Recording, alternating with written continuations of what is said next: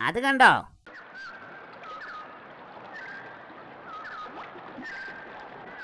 അതൊരു മുതലയല്ലേ?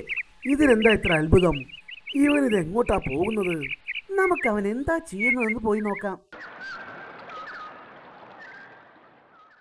ഞാൻ നിങ്ങൾക്ക് മുതലകളുടെ ജീവിത രീതിയെക്കുറിച്ച് കുറച്ച് കാര്യങ്ങൾ പറഞ്ഞു തരാം.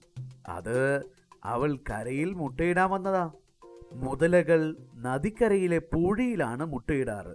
പിന്നീട് അവർ സ്വയം മുട്ടയുടെ മുകളിൽ പൂഴിയെടുത്ത് മൂടുന്നു. പിന്നെ അവ തിരിച്ചു വെള്ളത്തിലേക്ക് പോകുന്നു. കൂടാതെ കരയിലും വെള്ളത്തിലും ഒരേപോലെ ജീവിക്കാൻ കഴിയുന്ന മുതലകളും ചീങ്കണ്ണികളും ഒരേ വർഗത്തിൽപ്പെടുന്നു മുതലകളുടെ വാലുകളാണ് അവരെ വെള്ളത്തിന് മുകളിലൂടെ വേഗത്തിൽ സഞ്ചരിക്കാൻ സഹായിക്കുന്നത്. കൂടാതെ രാത്രിയിലും പകലും കാഴ്ചശക്തിയുള്ള ജീവികളാണ് മുതലകൾ. രാത്രിയിൽ അതിന്റെ കണ്ണുകൾ ചുവപ്പ് നിറത്തിൽ പ്രതിഫലിക്കുന്നു. ഓ ഒരുപാട് കാര്യങ്ങൾ അറിയാൻ കഴിഞ്ഞു. മുതലകൾ വലിയ അക്രമകാരികളല്ലേ? ശരിയാണ്. അവ വളരെ അക്രമകാരികളാണ്. ഈ മുതലകളുടെ പൂർവികർ ദിനോസറിന്റെ കാലത്തുണ്ട്. മറ്റൊരു പ്രധാന കാര്യം അതിന്റെ കുഞ്ഞുങ്ങളെക്കുറിച്ചാണ്. കുഞ്ഞുങ്ങൾ ആണോ പെണ്ണോ എന്ന് നിശ്ചയിക്കുന്നത് മുട്ടകൾക്ക് ലഭിക്കുന്ന ഊഷ്മാവിനെ ആശ്രയിച്ചിരിക്കും. അതുപ്രകാരം ഒരേ സമയം ഒരു ഗ്രൂപ്പ് മുട്ടയിലെ കുഞ്ഞുങ്ങൾ മുഴുവൻ പെണ്ണോ അല്ലെങ്കിൽ ആണോ ആയിരിക്കും? അത്ഭുതം തന്നെ. ഞാൻ ചേട്ടന്റെ അറിവ് ഞാൻ സമ്മതിച്ചിരിക്കുന്നു. ഇതിന് വലിയ അറിവ് വേണമെന്നൊന്നുമില്ല. എനിക്ക് വയസ്സ് കുറച്ചായില്ലേ. പിന്നെ ഞാൻ നിരീക്ഷണത്തിൽ നിന്നും മനസ്സിലാക്കിയതാണ്. എന്തായാലും മുതലകളെക്കുറിച്ച് ഒരുപാട് കാര്യങ്ങൾ അറിഞ്ഞു ആ പിന്നെ ഇവിടെ കുറേ സമയമായില്ലേ. ഇനി നമുക്ക് മറ്റൊരു സ്ഥലത്തേക്ക് പോവാം.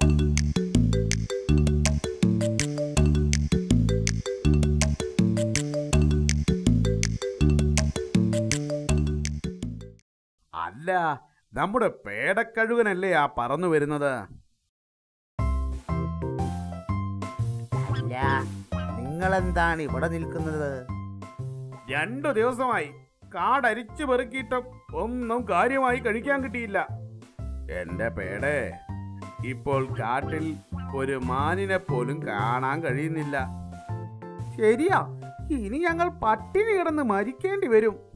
നിങ്ങൾ വിഷമിക്കാതെ ഞാൻ കുറച്ച് മുയലുകൾ കൂട്ടമായി താമസിക്കുന്ന സ്ഥലം കാണിച്ചു തരാം. പക്ഷേ പാതി എനിക്ക് തരണം. അതിനെന്താ വിഷമം? എവിടെയാണെന്ന് വെച്ചാ വേഗം പറഞ്ഞതാ. അങ്ങ് കിഴക്ക് വെന്നിക്കൊടി മലകൾക്കപ്പുറത്തെ കുന്നിൻ ചെരുവിലെ ഗുഹയ്ക്കടുത്തായി കുറച്ച് മൊയിലുകൾ താമസിക്കുന്നു. ശരി എന്നാ വേഗം പോവാം. ഓ എനിക്ക് നാവി വെള്ളം വരുന്നു. ഏ അതൊരു ജിറാഫ് അല്ലേ ശരിയാണ്. അവനാണ് കരയിലെ ഏറ്റവും ഉയരം കൂടിയ ജീവി. അവന്റെ നീണ്ട കഴുത്ത് കണ്ടില്ലേ? ജനിക്കുമ്പോൾ തന്നെ അതിന്റെ കുട്ടിയുടെ ഉയരം ആറടി ഉണ്ടാവുന്നതാണ്. അതിന്റെ നാവിന്റെ നീളം ഇരുപത്തിയേഴ് ഇഞ്ചോളം വരും. ഓ അവന്റെ കഴുത്തിന് എന്താ നീളം?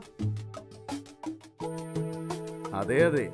അവർ ഉറക്കം കുറഞ്ഞ ജീവികളിൽ ഒന്നാണ്. ദിവസത്തിൽ അരമണിക്കൂർ മാത്രമേ ഉറങ്ങൂ. കൂടാതെ അവയ്ക്ക് നിന്നുറങ്ങാനുള്ള കഴിവുമുണ്ട്. പിന്നെ അതിന്റെ ആയുസ് ഇരുപത് ഇരുപത്തിയഞ്ച് വർഷത്തോളം വരും. കൂടാതെ കൂട്ടം കൂട്ടമായാണ് അവർ ജീവിക്കുന്നത്. അവരുടെ ജീവിതകഥ അറിയുമ്പോൾ അത്ഭുതം തോന്നുന്നു. ഈ ലോകം മുഴുവൻ അത്ഭുതങ്ങൾ നിറഞ്ഞതാണ്. മനസ്സിലായോ? ഇനി നമുക്ക് മറ്റൊരു സ്ഥലത്തേക്ക് പോവാം.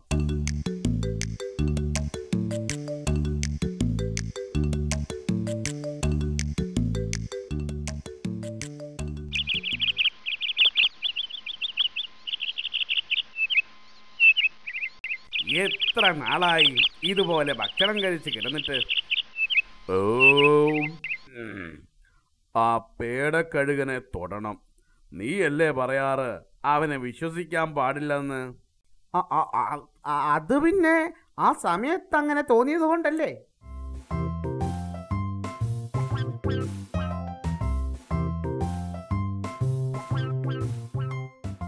അല്ല ഭക്ഷണം കഴിച്ച് നിങ്ങൾ ഇങ്ങനെ കിടക്കുകയാ? നമുക്ക് താഴ്വരയിലൊക്കെ ഒന്ന് പോയി വരാം. ശരി അങ്ങനെ ആവട്ടെ.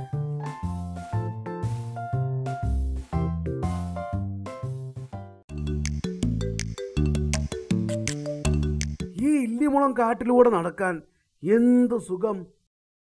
എന്ത് നല്ല തണുത്ത കാറ്റ്? ഇവിടെ തന്നെ അങ്ങ് കൂടാൻ തോന്നുവല്ലേ? ശരിയാ. നമുക്ക് വേഗം മരം ചേട്ടന്റെ അടുത്തേക്ക് പോവാം. അയ്യോ നമുക്ക് ഓടി രക്ഷപ്പെടാം. ദാ കണ്ടോ ഒരു കണ്ടാമൃഗം. നമുക്ക് ഈ പാറക്കിടയിൽ നിന്ന് അവന്റെ നീക്കം വീക്ഷിക്കാം. നിങ്ങൾക്ക് കണ്ടാമൃഗത്തിന്റെ ജീവചരിത്രം അറിയാമോ? ഇല്ല ഒന്ന് പറഞ്ഞു തന്നെ. കണ്ടാമൃഗത്തിന്റെ കൊമ്പ് കണ്ടില്ലേ? അത് ജീവിതകാലം മുഴുവൻ വളർന്നുകൊണ്ടേയിരിക്കും. ഈ കൊമ്പ് ഉപയോഗിച്ചാണ് അവ ശത്രുക്കളെ ആക്രമിക്കുന്നത്. ഇവർക്ക് കാഴ്ചശക്തി കുറവും ഘ്രാണശക്തി വളരെ കൂടുതലുമാണ്. കൂടാതെ നാലോ അഞ്ചോ വർഷം വെള്ളം കുടിക്കാതെ ജീവിക്കാനും അവയ്ക്ക് കഴിയും. ഇവരുടെ തൊലിക്ക് വളരെ കട്ടി കൂടുതലാ. അത്ഭുതം തന്നെ. ഈ അറിവെങ്ങനെ കിട്ടി? മുമ്പ് ഞാനീ ചേട്ടൻ പറഞ്ഞു എന്നതാ ഇനി നമുക്ക് വേഗം പോകാം.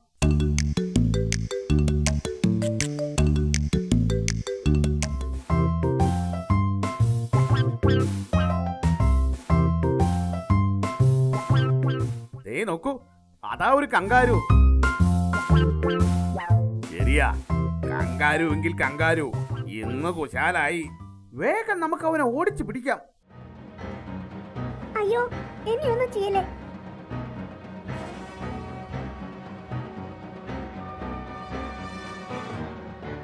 അയ്യോ ഇനി ഒന്നും ചെയ്യലേ അയ്യോ അയ്യോ.